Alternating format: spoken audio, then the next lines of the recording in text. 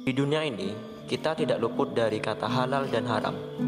Halal yaitu sesuatu yang dibolehkan, sedangkan haram ialah sesuatu yang dilarang. Gaya hidup halal atau halal lifestyle belakangan ini memang tengah melanda dunia, tidak hanya pada negara mayoritas muslim, tetapi juga di negara non-muslim.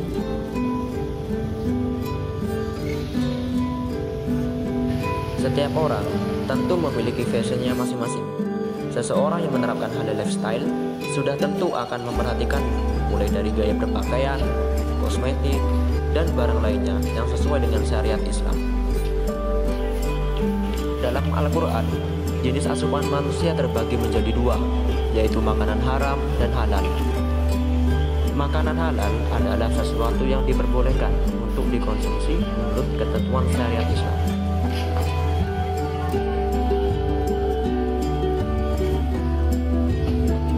Halal di sini baik makanan yang berasal dari tumbuhan, buah-buahan, ataupun hewan yang dikategorikan boleh dimakan.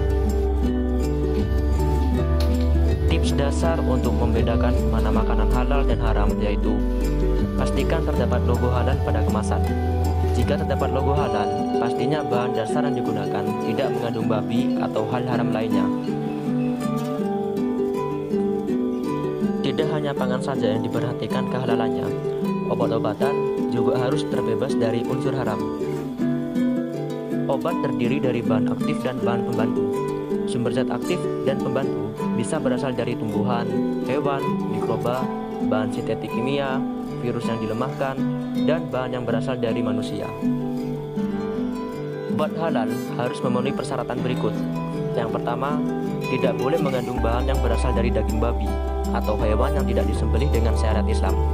Begitu juga dengan bahan sintetik kimia dibolehkan selama tidak toksik dan berbahaya. Yang kedua, metode dalam pembuatan obat mulai dari tahap persiapan, proses produksi, dan pengemasan harus bebas dari bahan kotor atau najis. Yang ketiga, penggunaan obat tidak menyebabkan efek berbahaya di kemudian hari.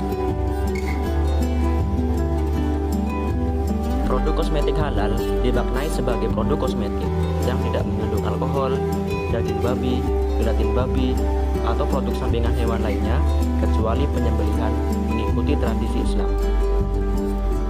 Adapun produk kosmetik halal meliputi krim anti penuaan, pelembab kulit, parfum, lipstick, pasta gigi, dan lain-lain. Berikut tips memilih kosmetik halal menurut Lembaga Pengkajian Pangan, Obat-obatan, dan Kosmetika atau LPPOM MUI.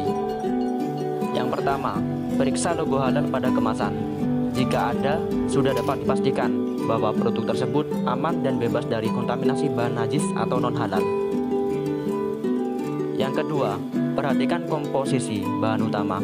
Terdapat berbagai bahan yang tidak boleh dimakan, namun diperbolehkan untuk digunakan pada produk kosmetik.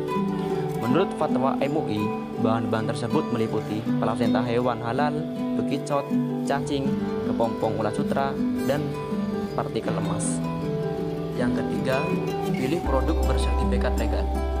Selain label halal, penting juga untuk memilih kosmetik yang telah memiliki sertifikat legal. Tanda sebuah produk sudah bersertifikat legal, yakni adanya nomor pendaftaran BPOM.